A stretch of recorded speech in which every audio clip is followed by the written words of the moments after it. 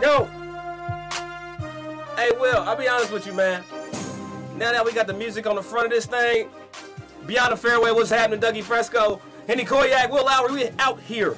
But now that the music wheel's on the front end, it make me kind of, I feel like a rapper or somebody about to come in and come out just like, uh, I, we need Will Lowery to spit over this, Kobe. Go ahead, cut that, Coles. Yo, what's happening, everybody? Welcome back, Beyond the Fairway podcast. Uh, it's been a week. It's been a week. Henni, you're in a box. Will, you're where you're supposed to be. Henni, where? What? Let's just start with Henni. You got your arms folded, Henni. I'm getting a lot of like, um, a lot of pissed offish right now from you right now. Like, don't mess with me, Doug. Like, I feel like I got an X over my head, but I'm gonna still mess with you just a little bit. uh, naturally, I would be shocked if you didn't. That would weird me out. Uh, yeah, I'm. You know what? I call this energy saving mode. I'm at the Players Championship. I'm on site.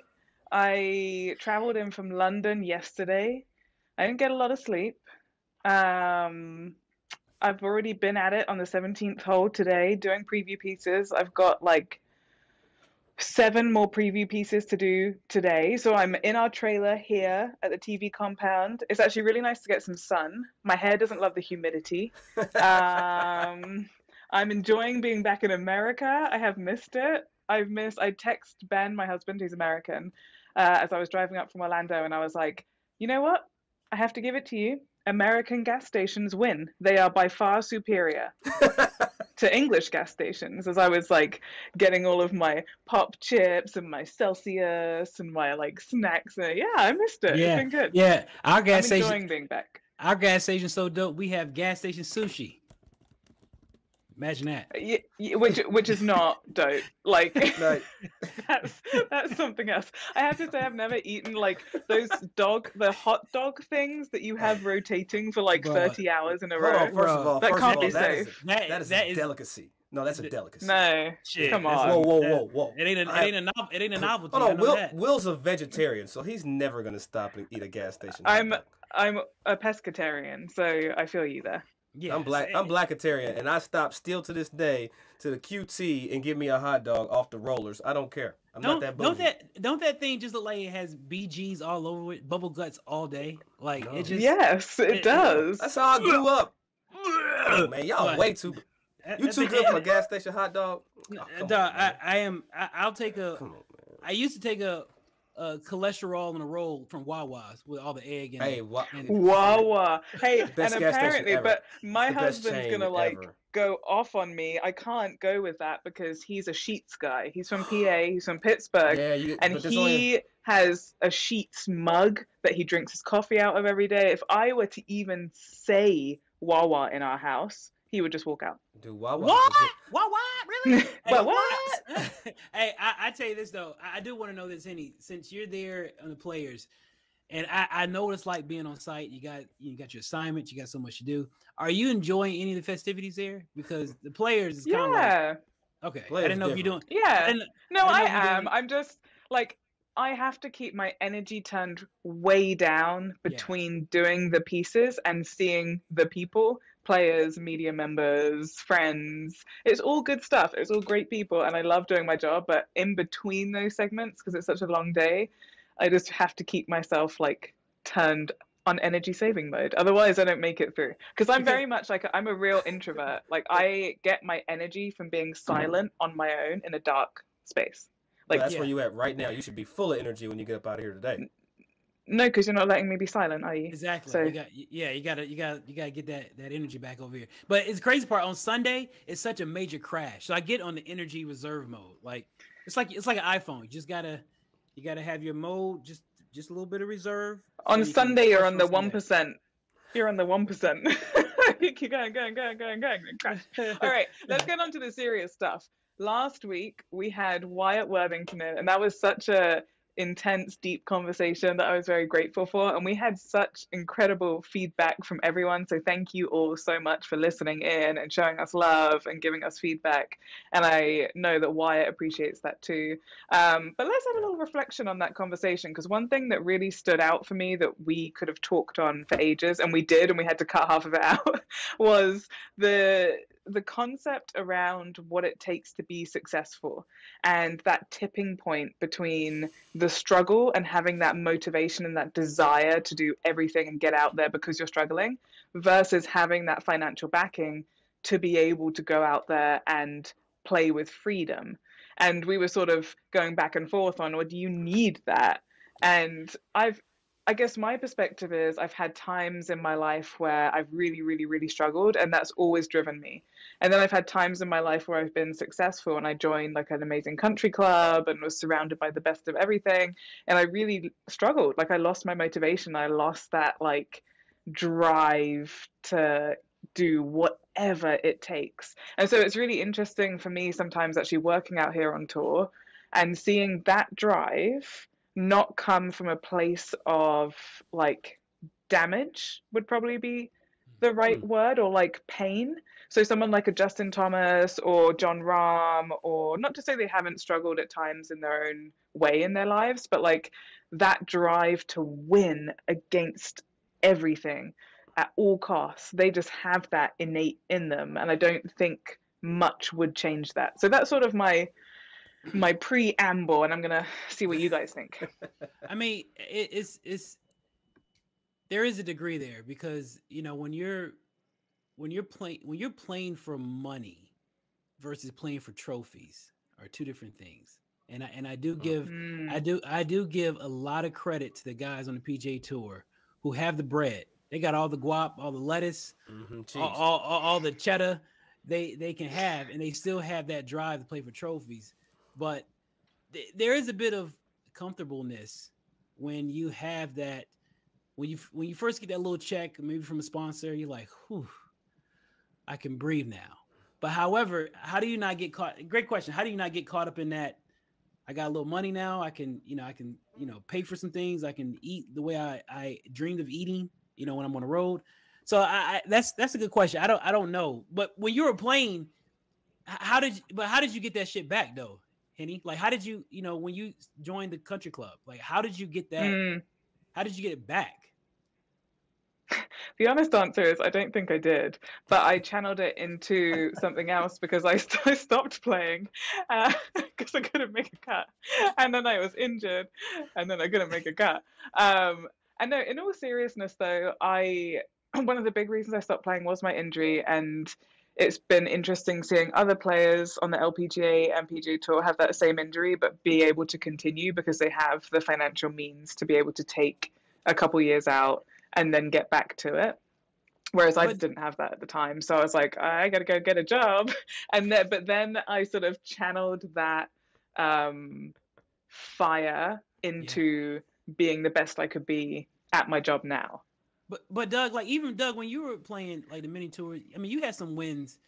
Uh, not having shit, you you sleep in the back of your car too. But I mean, I I, I just oh, when I think about you know what we're talking about with Wyatt, and I remember like losing my last six hundred dollars. You know, playing it. I remember going to an event. I only had like seven hundred in my account. I remember shooting like seventy five thousand for two days, and I remember just being broken, like crying. I'm in the car crying over the steering wheel like I don't know what is next for me. And to be honest, that's kind of mm. like the moment that I punked out. Like it was one of those things where mm. I was actually playing really good golf, but like you got to remember my story is a little different than a lot of people's. I went to business first and quit, right? So I got a resume. You know, I got I got accolades and, and all this stuff I could fall back on and, and get back to the to the office. So for me, it was it was like the lowest of the low because you took you left this comfort space. I had money and retirements, and then I went and played golf. I was playing good finally, and then I lost everything, like all of it, gone. Mm-hmm. And uh, that realization of going back to work for me, that's when it hit. But what I find just heartbreaking is we've all been to that ultimate low, that low spot. Mm-hmm. And for Wyatt to have contemplated what he was mm. going to leave behind because he was going to take his life. Um, and and if I'm being still a million, thousand, hundred percent, or keeping it a buck, like Wyatt was saying, being as close as I am to Wyatt, yeah, and not knowing, yeah, that that's what he was going through and experiencing, mm. I think honestly in the episode, you know, when he's telling the story, I kind of wipe a tear away and it was because I felt like a horrible friend. Yeah. And you know how many times Henni or Will is like people going through things and you just have no idea.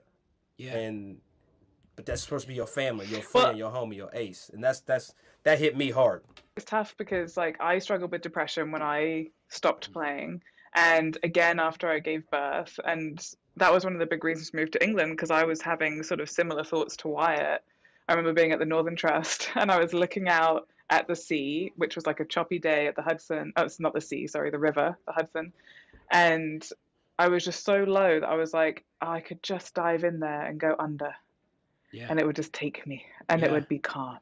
Oh, Yeah. the relief Yeah. and I was like, oh shit, like I, I had to tell Ben, I was like, but I'm not in a good space here. Like we need to mm. move out. So I've struggled with depression like on and off. But whenever I have had those episodes, the last thing I want to do is talk to anyone. Like you go Right. so insular. Not and not really by choice. Like it's just I think that's just the way that that affects you. Like you don't really want to But but reach out but, and be sociable and but when you speak and when you speak on reaching out, you know, typically as us being golfers or even people or those who are not in the game professionally, sometimes golf is the sanctuary, is the outlet. But Mm. when when golf is it, when when golf is not our outlet, when I'm telling you when I'm lost, I am completely lost and I have nowhere to go. And and I guess the Mhm. question is how do you have that mental health maintenance to where you won't get into that spot again? How do you Mental How- health maintenance. That's that's heavy, Will. yeah, No, but that's such a good point because I currently am on a mental health maintenance plan. So like I've I I've been Was that- is that- therapy on and off. where'd you get that from? Sheets or Wawas? That, that's that, that's it in the sheets mug. It comes as a collector's set. Yeah. hey, but I tell you, I tell you this. Now we're going to kind of shift a little bit. Speaking of you know competitive nature, you know we uh perhaps maybe his competitive uh nature got the best of him. Uh want to bring up Kamaiu Johnson uh in his uh his uh happenings that he did over the past uh weekend or week, excuse me, not weekend, week over at API Arnold Palmer Invitational. Um Doug, I mean, I, I I'll let you explain it. You were you were uh on site I was last on the, week. well, well, I wasn't on site. I was in the. I was on the broadcast. He was on a but Fair was on a enough. broadcast. Okay. Um, I was. man, here's the story. Uh, you know, the, the first part of the story is the, the group was on the clock, right? So players, Nick Hardy, um, I think it was it was Kyle was uh, Westmoreland was playing with him the first round. I can't remember, but I know Nick Hardy was for sure. They left to go play the tenth hole. Kamaiu took four shots to get on the green there at nine. As he's on the green putting, the, being on the clock, the other group went to try to you know make up time and go ahead and tee off. Kamaiu three putted. So if he's on in four and three putts, that's this many, seven. Kamaiu uh, shared that he had made a six. You know, so the guys didn't see it in the group. They get to a shot link. So this is what happened from my seat. Shot link had him for a seven. So I always assumed that he made seven because that was a shot, shot link score. Gets to the scores tent, um, and um, says he made a six. Starts arguing about it, and um, you know it's one of those things where you one when you're on a sponsors exemption number one you shouldn't be very adamant and number two when your playing partners leave the green and you say you made one less than camera evidence says that you made you Yeah. Yeah. can't really fake the funk Yeah. so that's the story. That's the story. Kamaiu Johnson signed for one less score than he actually made. He made a seven. They checked the tapes and saw it. But then, Will, that, this is to me when the stories start because this went wild. I mean, Monday Q posted it up, um, posted the story with Nick Hardy as the source, and on Twitter, clarify Yeah, money on Twitter. yeah, Monday Q on Twitter posted the story so that everybody had some clarity because I was looking to see how many Kamaiu had missed the cut by respectfully just to see what he shot. Like, okay, how many was, you know, because previous time he played this tournament, he shot 14 over. He shot 7 over this time. So I was progress. And then you look up and see DQ by his name. And then Will, you know, and I'm, I'm not trying to I'm not trying to hurt anybody's feelings. Let's just be honest. Kamaiu Johnson, we've talked about in previous seasons. He's played in five PGA Tour events. He's finished DFL and DQ. Still to this day, he's never beat anyone in a competition. That's not fake. That's not shade. That's not smoke. That's a fact. Mm-hmm. Now, now the question moving forward is: Is Kamaiu Johnson the Black Patrick Reed? Ooh, damn, Ooh. Doug. Damn. Ain't no. I said it's a question. I didn't say I, I am saying this. I'm saying is that what well, we're gonna let me, let, oh, let me say, equate let me, Kamaiu Johnson with now moving forward? Is he the Black me, Patrick? Can, can I? I mean, no, no. Can I hide somewhere? Hold on, hold on. Hold on. I, you know what? He he's not the Black Patrick Reed because let me tell you why he's not. Patrick Reed obviously has been labeled as a cheater. There's been allegations. There's been some infractions, questionable mm-hmm. infractions. We know yep. that. That's facts. Reason why he's not the Black Patrick Reed because Patrick Reed always had a chance to go to the next week to erase that cloud over his head. Patrick Reed, every week from the time that he was labeled as cheating, he had a chance to better his record by having a clean tournament. Hey, it's four it's four tournaments in a row that Patrick Reed has not had infraction or had any type of speculation. That's fair. I get that though. and... Kamaiu Johnson does not have that luxury. And to be honest, Kamaiu's not good enough to have that cloud over his head that he's a cheater. He just he's not. He, I mean, he, now granted, he's been working hard. He's been working his ass off. Made some cuts to, on on PGA Tour Latin America. He's two two out of three cuts on the PGA Tour Latin America. Uh, but when you have these sponsors and, and real estate on your shirt, that comes with an incredible amount of responsibility and scrutiny. And, and scrutiny. That's why we're gonna get your ass right now, Kamai. Look, regardless if he cheated or not, I'll tell you one thing: this next sponsors exemption is gonna be a while. I can promise you that. What for him or for black folks? Both, and that's the and that's the damn sad part. That you can even ask the question with a straight face because somehow those two things are damn correlated. That's and that's what I've been talking to a lot of people about. Will is is like, did Kamaiu mess up ops for black folk, like all blacks in golf? And it's like, whoa, whoa, whoa. How how is how is he the Al Sharpton of, of the tour now? uh, because he he has the most logos and he's being seen and etc. etc. So and and and Henni, that's the that's one of the things where what's the expression? A rising tide raises all ships. But what about a low, a low a, a, descending tide or a rescinding mm. tide? It does the same thing. It lowers the, the space for the for the ships. Maybe so, that's him, I, maybe, maybe that's him calling, telling you his his his point of view now. No, that's the dentist appointment that I'm late for because uh, we had to redo the, the, the, the recording time. Look, sorry, Doctor Moyer, I apologize. I'm not coming. Nine o'clock. You know, was when I was supposed to be there. Matter of fact, I'm gonna get charged for this damn episode. All right, I'm pissed now. But uh, so like, uh, but Henni, I mean, have you when you were playing? Did you did you know who they were when you were on tour? Oh, mm. uh mm. yeah, yes. I personally didn't care because I was like, if you want to do that to yourself, we've all got to look at ourselves in the mirror at the end of the day, right? So if you want to do that to yourself, that's cool. I, when I heard what Kamaiu did, I was really disappointed because I don't know him, but similar to what you were saying, is that he is the black poster boy, right, of the APGA Triumph, who's playing in PGA Tour events, and you said he's sponsored up and branded up, and um, it, I think that makes it extra disappointing because he is so visible and he was that guy. He was, for whatever reason, rightly or wrongly, he was painted he's, as that guy. He's stamped. And so got, got I think we're.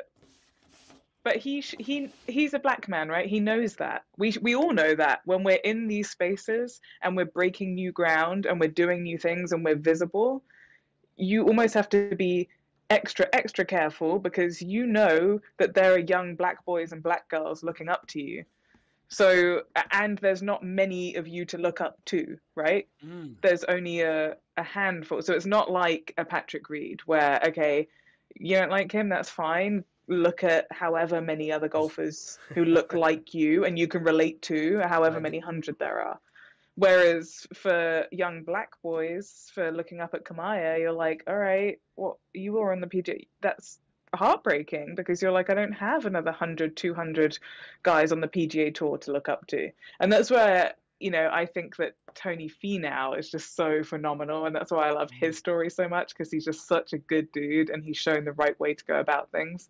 And prior to that, obviously Tiger Woods, that you know responsibility that he had and the mantle that he held over black, white, Asian, whoever young kids. It's, that's, I think my point is that that's really powerful, and that's a very privileged position to be in and so therefore you have to look after that and realize that and understand that and take care of that Yeah, it- But I mean, but it's- but but here's the thing, Will. Like, and and, and this is what I I don't understand.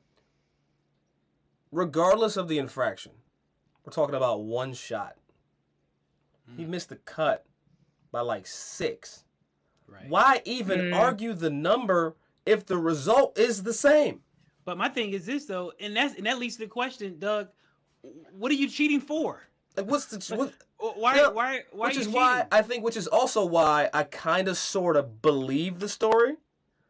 Because think about this, he hits it right off the tee, like 100 or 240 yards, which is extremely short, which says he hit it horribly. Chopped it out to 85 yards, chopped it out the green side. Right now he's on the green, laying three. He gets on the green. He he hits a putt from like 25 feet, one from five feet, then another one from four feet, then another one from three feet. At that point, and that's back at the clubhouse. You know, that's the ninth green.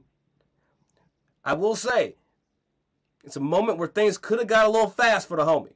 Like, oh, my, he's, there's some embarrassment. There's a big number. I'm trying to make the cut. I played a good first round. Played a good first round, um, and things got a little fast. I'm not saying that he cheated, but I am saying that there was an opportunity in that moment where things could have moved. But what pisses me off about this entire damn story is the fact that this individual tried to have an attitude about him making a six. Then he got an attitude. Then he blamed it on his caddy. Said the caddy was keeping his scorecard. Let me tell you something. I don't know how many caddies keep the scorecard in golf.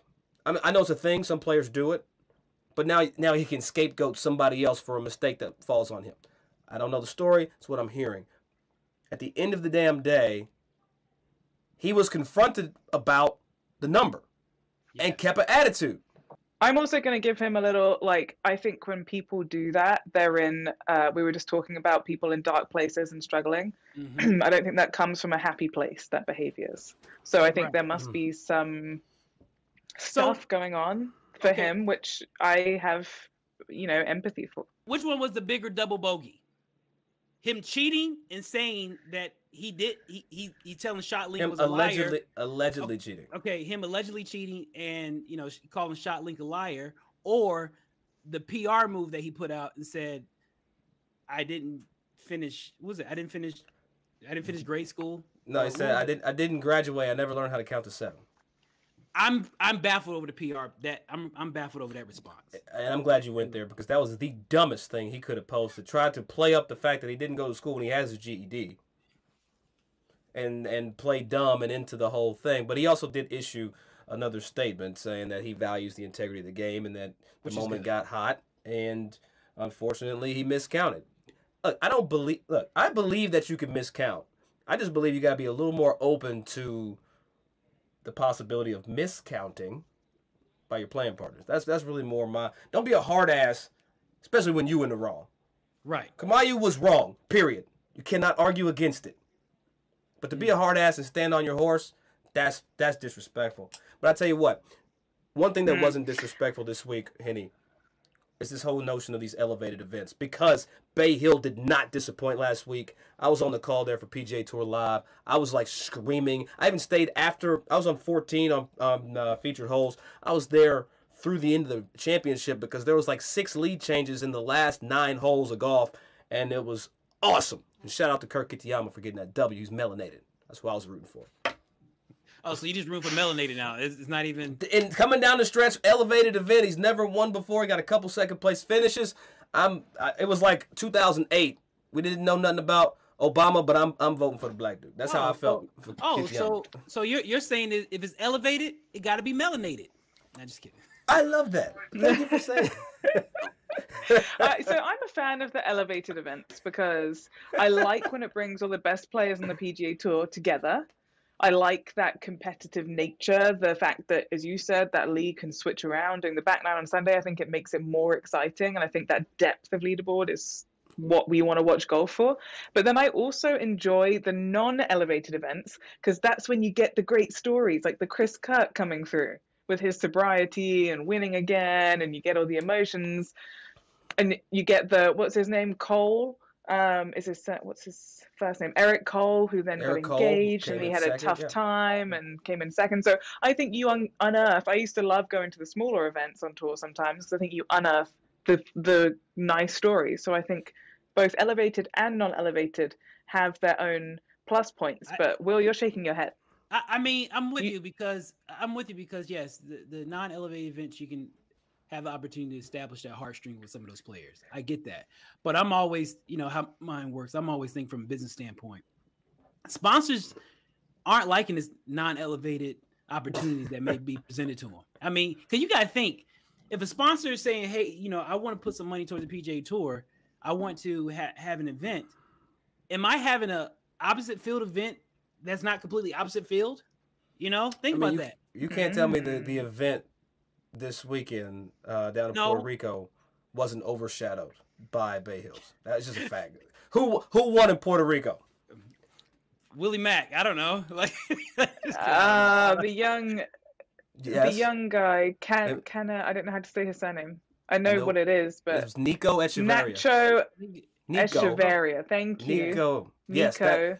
But you know, for the record, they put that in the group chat and text. So thank you, Kobe, our producer, who bailed us out. My point was, no one knew Why are you gonna be that way? No one knew. Like we're Right. talking about off. You, you can't tell me that the sponsor of that event is super happy about having an That- event but- like Bay Hill the same week to Will's point. but but but that's the same, and that's the, that's the point. Like, how are sponsors and people who want to have a relationship with the tour are they going to be that much more hesitant because I'm not getting the type of player that I want at my at my opposite field event. You know. so Let, I- let's talk about the schedule actually, because we got we have Bay Hill, we got players. We're right in the the meat sweet of the season. yeah, we we got are. Masters. We got Masters coming up, and then the week after the Masters, we got the Will Lowery Junior Championship, Oh, a, a brand segue. new AJGA event. Is what I do. A brand new AJGA event at Carolina Trace Country Club, April 14th to the 16th. Congratulations, Will, on your AJGA event. That's super That- cool. I'm so happy for you. Bring that, applause in. that was a great segue, Henni Koyack. It's what, it's what I do. uh, yeah, Why man. they we- pay me the big bucks. That is why he paid the big bucks, and I love it. Man. I love it. Um, but yeah, so you know we get That's why they gave us a chaperone. right.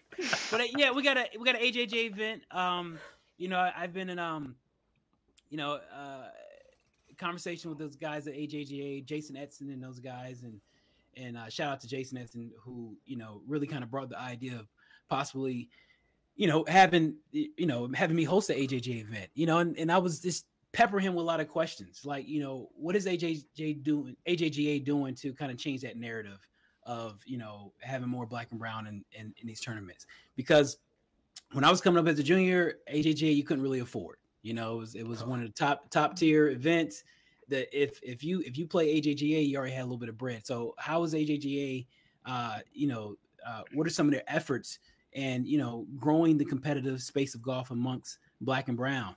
And you know they're and they're re- they're really making grave efforts to do just that. You know, they have the ACE the ACE uh, the ACE Grant Foundation, which is which is one of the dopest foundations that are helping uh, replenish and and and paid for uh, kids who come from a different clubhouse to want to play in AJJ events. So uh, I'm honored to be to have hosts and and they allow me to put my stank on it. So um, I you I have a question because that Yeah, we gotta talk about your- this thing. That was a beautiful. I'm not having any negativity from you, Douglas Smith. Negativity. I'm gonna. Sh- ooh. I'm shutting you down. I'm getting two fingers pointed at me right now. You know what? I'm going on mute. Yeah. All right.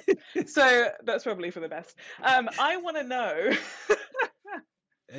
he looks like Ludacris doing a music video right now. It, it, it, it does. It, Uh, it like, we look like we're 03 all over again.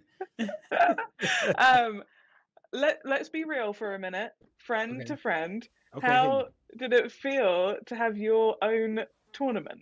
That's crazy.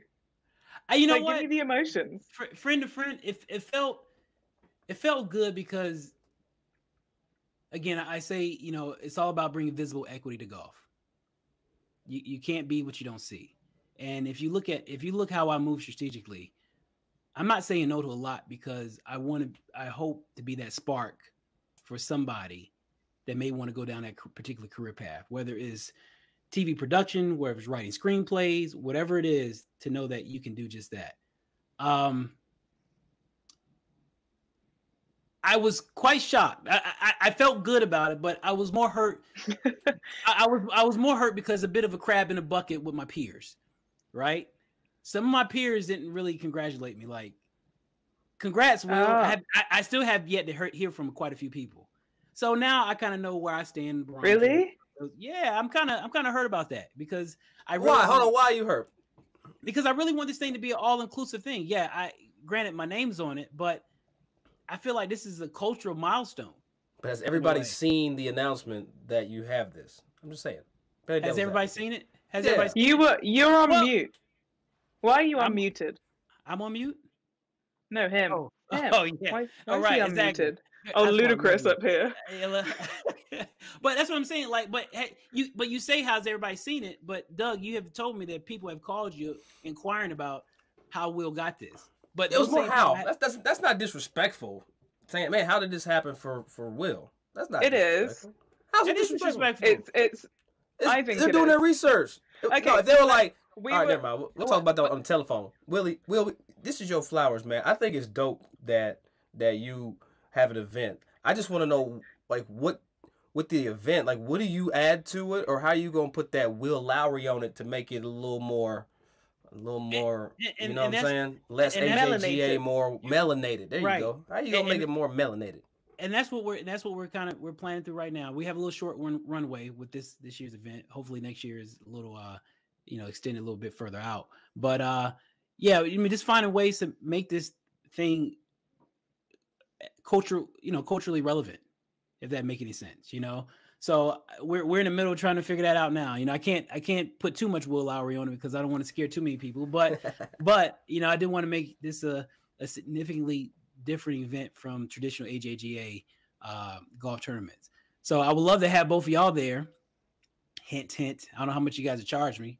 Either way, uh, but but you know we can we can we can figure something out. But the whole goal is is just to uh, just to you know I, one of the things I told AJG I was like man I got to have four exemptions for my underrated for my underrated kids. You know uh you know Jay Rich and those guys are underrated. Rob Roxborough we're in the middle of having a conversation you know what kids that we're going to pick and you know to to play in this AJJ event. And I'm just happy the fact that I have an event on the AJGA platform to where I can provide opportunities to those again who come from a different clubhouse that's the whole point you know and and hopefully we can get a Doug Smith AJJ event, Henni Koyack AJJ event, so we can extend the arm, extend the the uh the gratitude and, and gracefulness to bring people in to to put their talents on display on another platform.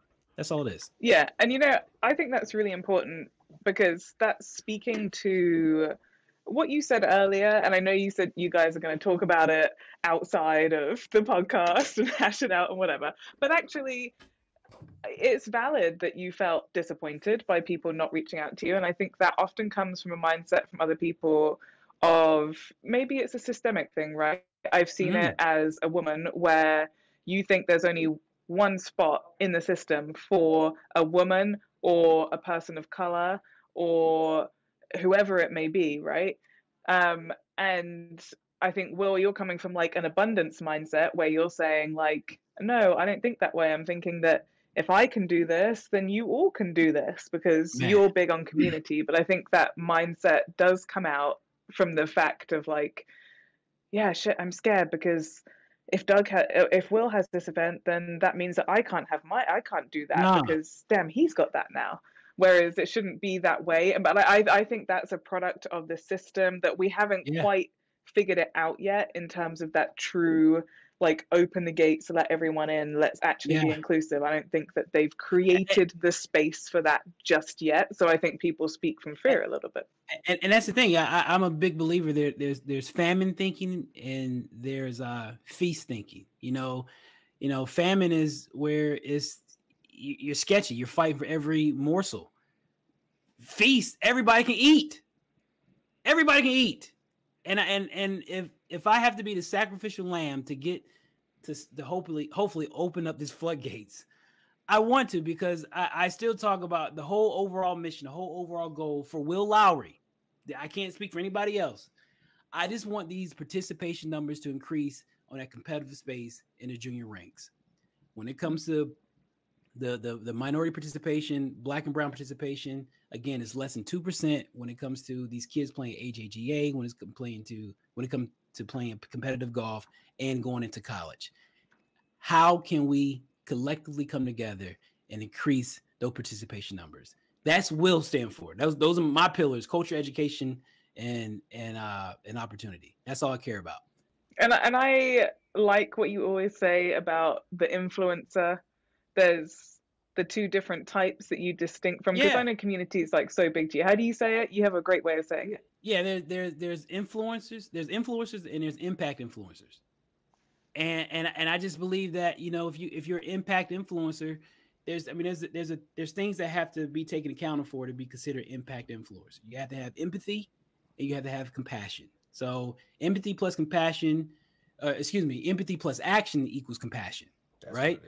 What it is. and so and and i'm just i just a firm believer that you know you know um you know com- compassion is nothing but a, a emotional response to somebody else's struggle and i just believe i'm wholeheartedly believe that these kids can really benefit from being in this game because the higher you go the higher you go up in the game the more invest it takes more money it just takes more money Yeah. but but the, but the further you can go, reach too. yeah if you, if and- you can get up there, if you can get up there man. You you'd be surprised you again the opportunity that you make from a business standpoint you know and, and i say all the time what golf has done for me. Golf has put me in some of the most you know rooms craziest rooms that i normally wouldn't be in. And that's because i know how to swing a golf club despite being backwards when i swing it. And upside down. and ups, upside down. But but yeah so I, i'm just i appreciate it from you guys. And and uh, i hope that we can you know make this event really uh meaningful and memorable a memorable experience from from you know this is not just for the will lowery uh championship this is really for all of i hate to say it for african american golf you know uh people of color golf because I, I I want this thing to really be lasting and and and um and talked about in a good way for years to come. Yeah, because if it's bad, What? you Yeah. about it too. to our Why are point. you unmuted? God damn You know what, Henni? You see how Will's laughing right now? Th- th- This is how this is. We'll we'll get to where me and Will are. You and I. We'll get there eventually. Right now, Will's laughing. Uh, I'm first glad part, you. the I'm first part of laugh was for. I'm glad. for I'm our glad. part. I'm glad she can tell you shut the hell up. I love this shit. This is perfect. Perfect. You know, Perfect. you know what, Henni? What? I'm gonna let I'm gonna let you. What? I'm gonna let you have it today. I Hey, don't feel like hold, arguing hold back. on, hold on. I do, I do want to know if you guys had a chance to watch. Did you guys watch uh, Chris Rock? Uh, his um, his uh special. Sorry. Doug, your face at me. I love you. It's all love. Uh, Did you- I did not, no. You didn't watch? Did you watch Dougie? I went to the show where he was practicing the the. Uh, me and Willie went to the to the Hey, actual. Hey, live Hitty, joint. you can't get no African American than this. I asked this, asked this Negro, Yes, did you watch it? He said he, he said I he didn't he watch went- it, He went. but I didn't watch what you. But hold on, Yes. hold on. Did you go to Baltimore? No, they did. He rehearsed the show in um, Oh, Palm some- that's- Springs. Hey, you can't get no blacker than that. Hey, did you go to see the, the special? No, I went to his practice. I went to his practice. So I was at the I can't even tell the truth no more, man. if you saw it at the practice, Doug, was the end of his set when he talking about Will Smith and Jada, was it cringy or was it hilarious? Do It had both. It had pieces of both. It Give me the had percent. Give me the percentage though. How much cringy? How much hilarious? Because I was. I'd probably say it's about seventy-five percent cringy, twenty-five percent funny, twenty-five percent funny, and it, but it was kind of like, ah. Hey, Chris got- Rock. I'm gonna Chris Rock. watch it. Chris Rock had a point, and he came out swinging. He swung and landed. I don't care. These- Granted, Will. Smith I had already done that, so he had to swing back. he- he Metaphorically, metaphorically speaking. Um, Doug, I have been silencing you throughout Will's AJGA event conversation, but now is your time to shine because we're going to end it on a fun little Dougie tidbit. He's shaking his head. He's like, "No, I don't want to play." No, you know what? wanna play with It's you." fine. I'll uh. No, I want to hear what your fun little Dougie tidbit is to finish our episode. Look, we've all been single people. We're all married with children, allegedly. All I know is we've all potentially may or may not have used a dating app in our backgrounds. Tinder now has reported, Will, that they're allowing background checks on people in Tinder. So I, I think it's good, but I think there's I think other. it's good. I think that's great, but if you're gonna go that far, then I think t- t- Tinder got to have this little Yelp piece. Like, can I get like a star rating for this person that I'm about to go out with? I feel like I should be able to read the reviews for. Uber, so Uber dating. I feel I was like just gonna that's say, next. like your Uber rating. I like that. I I think that's next. So call me crazy. If you're gonna run background checks, maybe you should have a star system so I can know. Right. Not me, but people can know Like- if it's worth the investment. Like. Right, This girl's like, got two and a half two and a didn't half op- she- stars. She didn't do the in the purse dance to pay for the bill. Take her Yeah. down a notch. That's He's a exa- bad kisser. Take him down a notch. Boom. Yeah. If it's Boom. pi- if, Yeah. if, the, pi- if the pictures are over 15 years old, take them down two notches. Yeah, he don't look like his picture. Uh, Get kicked Yeah. off the damn Tinder for that. All I'm saying is, if you're gonna take it a step far further and add the background checks, I would like to see the star system be added. I want to see what a Mm. three and a half star uh, male or female looks like, depending on how you swipe. That's all I'm saying. But you know what? I, I'm going to add on to this is that I was reading recently. There's like a hundred things that are now deemed as right in social etiquette or wrong in social etiquette. Because like the modern day social etiquette has moved on so much from what it was in the past that now there's like new rules, if you like. Hmm. And one of the new rules for single people was married people being too excited about Tinder and dating apps. And I have to say that I'm guilty of that because, like, if my single friends come to me and they're like looking on a dating app, I get so excited and I'm like, oh, let me see. I want to swipe for you. Oh, what about this? And apparently, that's like a real social etiquette no no now.